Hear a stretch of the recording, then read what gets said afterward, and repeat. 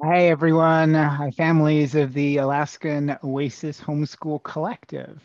My name is Tom Szabo. I'm a, well, let's see. I was the founding professor in the Florida Institute of Technology hybrid master's degree program. And we ran that program for seven years. It just ended two weeks ago. And uh, now I am developing a brand new master's degree program in behavior analysis for Touro University, Nevada. And I am also the director of family guidance for Autism Care West, also in Nevada. And I focus on the needs of parents and other caregivers. Simultaneously, I am the second chair of Commit and Act International.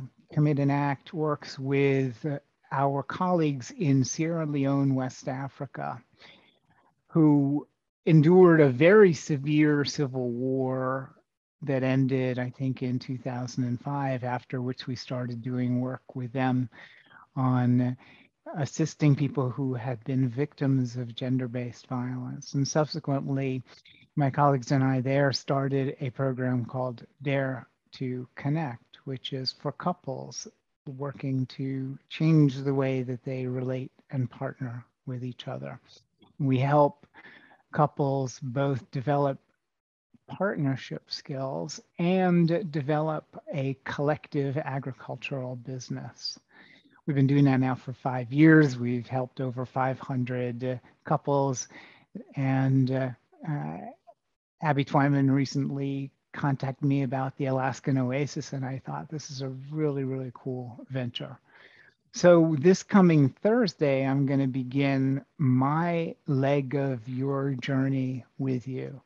I'll be giving six classes on acceptance and commitment work, the ways that you can develop flexible ways of relating to your emotions, to your thoughts, to time, to your impressions about yourself and your impressions about other people, your sense of what's important, and the way you take action on these other five things. I'm also going to do interspersed with these six classes, I'm also going to spend uh, some time on four different classes on building cooperative behavior. Homeschooling